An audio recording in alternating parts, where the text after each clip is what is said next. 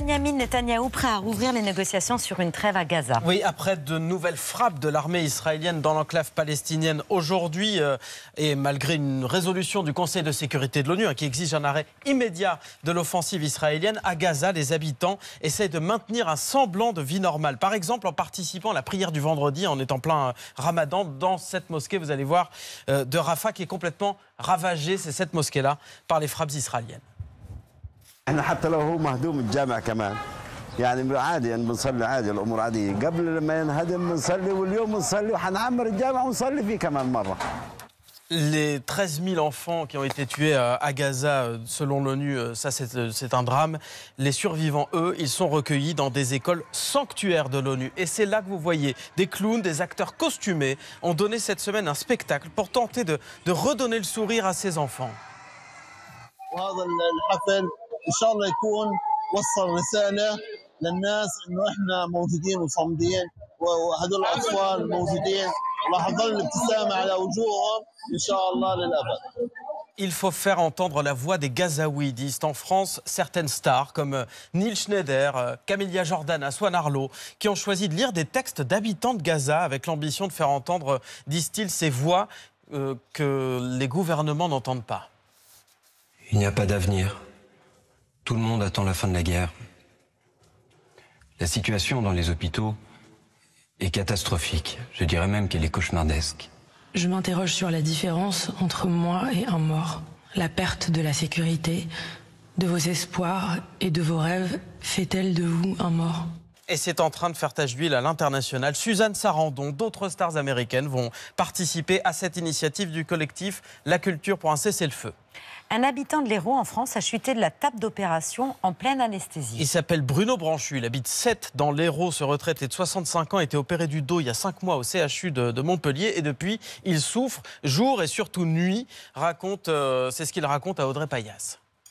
J'ai deux types de morphine une, que je prends une fois tous les 12 heures et une autre qui est toutes les 4 heures. Depuis le 7 mars, je n'ai jamais fait une nuit complète. J'en rêve. La fatigue aidant, je vais dormir une heure, une heure et demie. Dès que la douleur réapparaît, je me lève.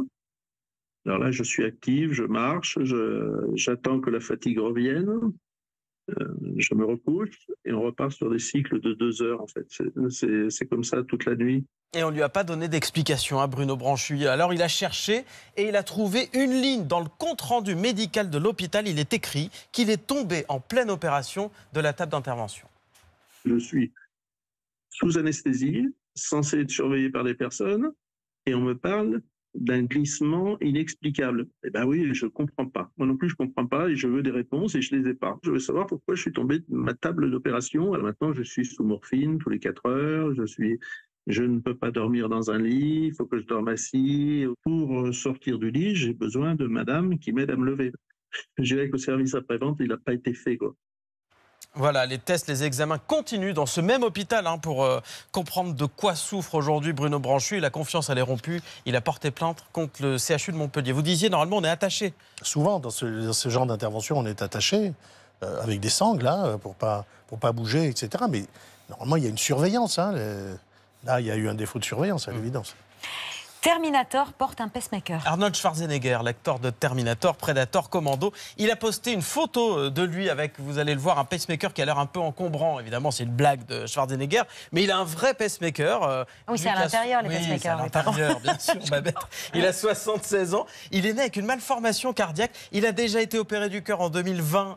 Euh, après un échec l'année précédente, il avait d'ailleurs failli mourir. Il rassure ses fans. Hein. il va pouvoir continuer à travailler avec la saison 2 de sa série Fuba. Ça nous rappelle notre Terminator à nous, Michel Drucker, indéboulonnable après ces trois opérations et qui anime à 81 ans vivement du manche. Il était d'ailleurs venu nous parler dans cet avou de sa convalescence et de son retour.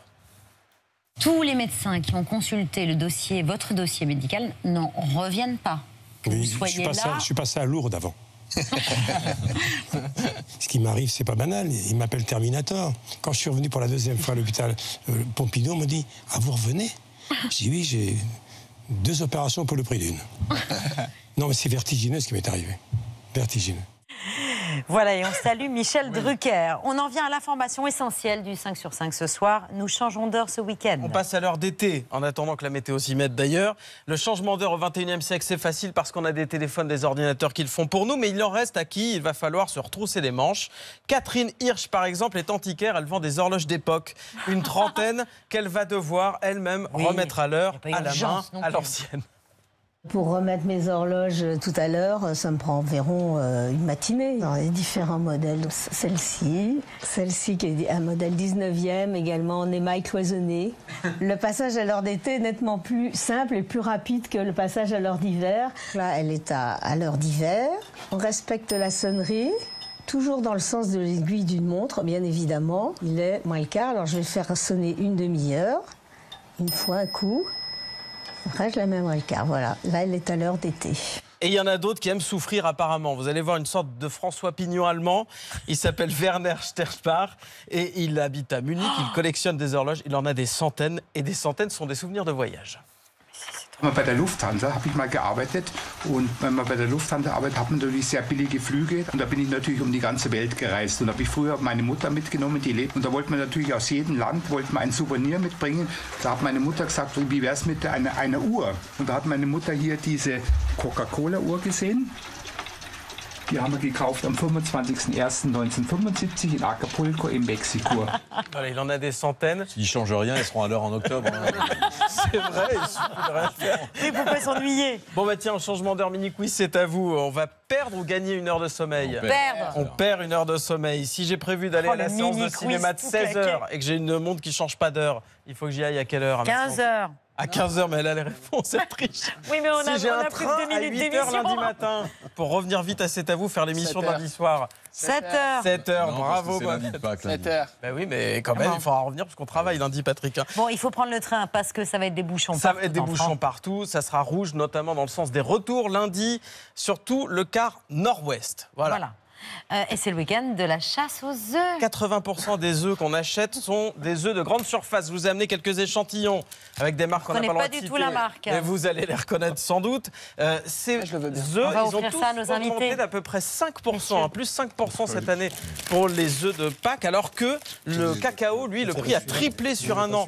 Pourquoi me direz-vous le prix du cacao triple et le prix des œufs de Pâques n'augmente que de 5% en moyenne? Eh bien la réponse Il y a pas que du de l'UFC que choisir? 5% d'inflation sur un an, si on prend ces œufs, donc là on a 20 euros au chocolat, maintenant on n'a plus que 19, en fait on en a un en moins euh, que l'année dernière. Le cacao en fait c'est qu'une petite partie finalement du chocolat en question. Donc là par exemple on a le lapin euh, Or, on a 30% de teneur en cacao, Euh, ici sur le Milka on a 33% et sur le Kinder on a seulement 14,5% de cacao. Voilà, 14% seulement dans un Kinder de cacao, c'est surtout du sucre. Alors si vous voulez euh, vraiment là le top du top, ça c'est l'œuvre de Patrick Roger. Là il y a beaucoup beaucoup de cacao. On lui a fait goûter à Patrick Roger certains des euh, œufs industriels. Industriels. Évidemment il n'est pas fan. Si c'est industriel sur du lait, c'est un peu moins dur de manger du lait que du noix en général. Vous avez goûté? C'est violent. C'est violent, pas bon. Moi, le gars qui me vend ça, j'y fous dans la gueule. Mais 99,9% du marché mondial, on mange que du truc qui est dégueulasse. Ça, ça, c'est clair. Cola au lait, sucre, ça vient en premier. Euh, volume d'ingrédients, du lait entier en poudre. Ensuite, il y a du lait écrémé en poudre, super, pour savoir quelle est la différence. Ça fait maths sup. Voilà. Plus il y a du cacao, plus c'est bon, mais plus c'est cher. Là, c'est 60 euros quand même euh, l'œuf. Évidemment, c'est pas celui-là sans doute que vous aurez dans votre chasse aux œufs. Enfin, Ça si papotait chanceux. chocolat tranquillement à ma gauche.